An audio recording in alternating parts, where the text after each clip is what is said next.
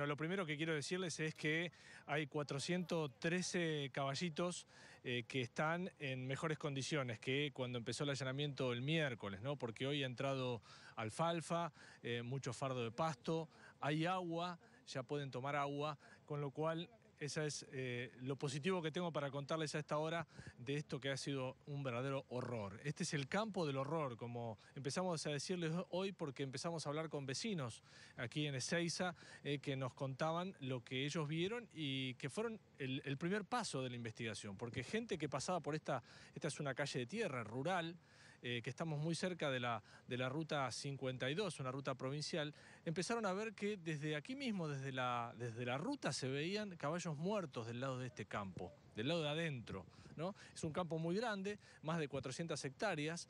Eh, encontraron cuando entró la policía 25 caballos muertos, ¿eh? algunos dentro de, de, lo que es un riacho que pasa por, por el medio de este campo, que por supuesto está contaminado. Es un campo que está muy cerca del country, el provincial, mejor dicho, la Providencia, eh, y, que está eh, a cargo, estaba regenteado, lo controlaba un tal eh, Honorato, se llama Edgardo Raúl Honorato, un hombre que tengo acá lo que es su prontuario, una, dos, tres, cuatro, cinco, seis seis causas judiciales ha tenido en los últimos 10, eh, 15 años, siempre ha salido bien parado, ¿no? Esto es lo que llama la atención hoy de los investigadores. Aquí hay una fiscal, Garrido, eh, la doctora que está a cargo de la Fiscalía 1 de Seiza, que lo ha detenido. su hijo está comprometido también. Hay otro familiar que ha tenido otros, otros problemas parecidos de cuatrerismo, que está con una pulsera en su casa. es una familia que se dedicaba a esto del cuatrerismo. ¿Qué pasaba con estos caballos? Bueno, aquí los acopiaban y de aquí aparentemente los investigadores creen que iban a un frigorífico de Mercedes. En pésimas condiciones, muchos de ellos como estaban, iban a morir y después se transformaban en carne que se, exportaba ¿eh? o en mortadela. Esto es lo que hay para contar de esta verdadera historia muy triste. Hay muchas organizaciones eh, que protegen a los alemanes, eh, que están por aquí, que han venido a ofrecerse, a cuidarlos. De hecho, van a ser seguramente quienes se encarguen del cuidado, de la protección de estos caballos. 413 están vivos, hay algunos que están muy mal, muy desnutridos y 25 murieron. ¿Mm? Una historia realmente de horror. Muchísimas gracias, Darío. Sí, una historia de horror sin dudas. Estamos con Andrea López, abogada precisamente animalista. Eh, ¿qué, ¿qué, se puede hacer en estos casos, Andrea? En, los, en las causas de maltrato animal tenemos hoy en día la ley 14346, que es la que prohíbe los actos de maltrato y crueldad animal. Esto está tipificado en el Código Penal y establece penas de prisión de 15 días a un año para quien realiza determinadas conductas que están descritas en esta ley. Se separan los actos de maltrato y los actos de crueldad. Claramente con esta situación eh, se violaron varios incisos de esta ley, no solamente no alimentar en cantidad y calidad suficiente, sino también crear sufrimiento innecesario, porque no es que no se alimentó de forma adecuada, sino que directamente se los dejó morir de inanición de deshidratación, de un estado de caquexia notorio y evidente para cualquier persona que no tiene conocimientos. Hay muchos caballos que se encontraron en una suerte de lago, que, era porque los caballos querían pasar a otro... Y muchos murieron también intentando pasar este lago. Entonces, el, el dueño, indica la desesperación de los Por supuesto, y el estrés que vivieron no al percibir que se iban a morir por, por inanición y deshidratación. De hecho, en el rescate de, que se hizo ayer, de los primeros animales que dejaron salir porque estaban agónicos, que fueron al CRE, tres de ellos, dos potranquitas, eh, y una tercera que llegó muerta al lugar porque no resistió ni siquiera el traslado. O sea, estamos hablando de un grado de crueldad y de abandono eh, notorio, evidente, doloso. ¿Hacías una diferencia entre maltrato y crueldad? ¿Cuál es esa diferencia? En realidad esta diferencia la hace la ley, ¿no? Brindar malos tratos eh, tipifica una serie de conductas que tienen que ver con eh, no dar eh, alimentos en cantidad y calidad suficiente, exponerlo a determinadas condiciones climáticas y demás. Y los actos de crueldad tienen que ver con una conducta con un mayor disvalor por el accionar, como por ejemplo matar con espíritu de perversidad. Ahora, ¿no tiene que cambiar la ley? A mí, realmente, bueno, hablas de 15 días a un año y me resulta muy poco. Lo, lo mismo se hablaba en el caso de Rubio, que es un perro que fue producto de una, una cosa muy, muy brutal.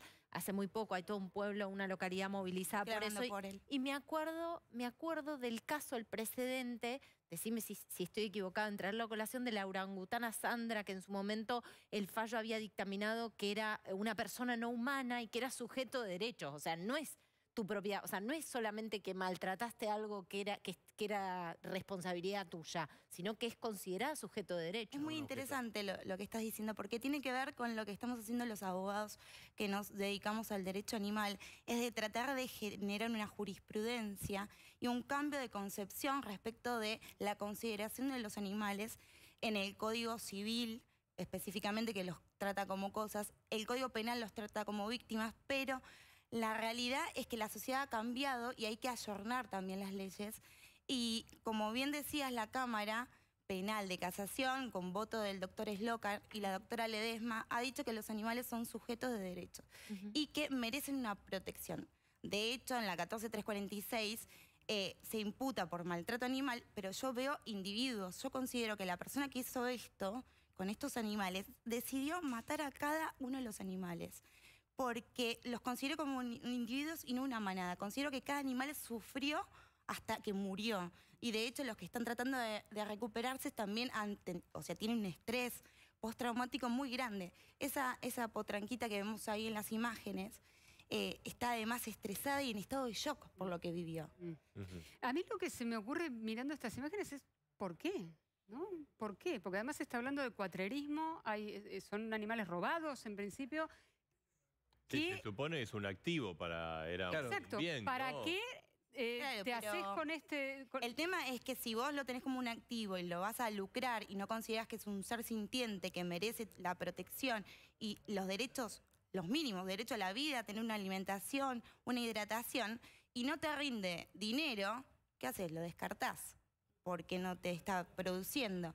Si, la- ojo, esto es una postura personal, la Fiscalía está trabajando su hipótesis, Mm. por supuesto no la van a brindar porque tiene que ver con las tareas investigativas que están realizando, pero si estos animales se usaban para ir al frigorífico y por X razón no se podían hacer los traslados porque dejó de haber connivencia, porque dejaron de poder subir animales sin papeles, sin poder acreditar cómo los obtuvieron y no los pueden trasladar porque eh, se terminó la connivencia de ciertos sectores, ya no me sirven más, con lo cual voy a gastar dinero en fardo, los voy a alimentar. Lo dejo ahí. esa, sea, es tu, esa sería- es tu hipótesis, sea, digamos, que no, los abandonaron porque no... personal, a título personal, y es la hipótesis que estamos manejando con la gente que está acostumbrada a asistir a este tipo de rescates, porque es muy interesante lo que vos decías antes de empezar, decías, no quiero ver los caballos.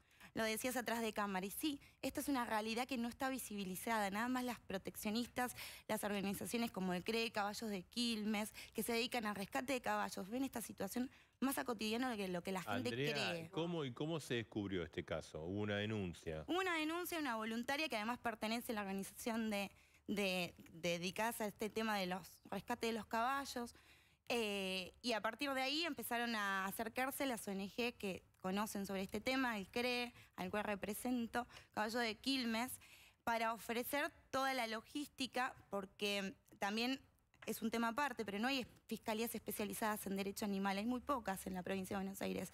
Y cuando yo voy a ordenar un secuestro, como fiscal, digo, eh, hablando de un fiscal, voy a ordenar un secuestro, digo, bueno, voy a allanar, secuestro armas, las meto en una bolsita, las rotulo y las guardo en mi despacho, ¿no? Se, se preserva la prueba. Cuando yo voy a hacer un allanamiento y un secuestro de caballos, ¿qué hago? Los rotulo, los meto dentro de una fiscalía, digo, hay que establecer fiscalías especializadas en la temática Un porque... protocolo para actuar. Exactamente. Ahora, eh, entonces la teoría sería, el, el- quien robó estos caballos a- los habría robado porque había un negocio que continuaba en el tiempo y no había problema, alguien cortó ese negocio, entonces ya tener estos caballos no... no A era- ver, nosotros todavía no tuvimos acceso a la causa. Hoy el doctor Barnabá, que representa Caballos de Quilmes, eh, hizo un escrito para que se los tengan como particular damnificado, así igual que él cree, eh, para, para poder aportar datos, información, colaborar.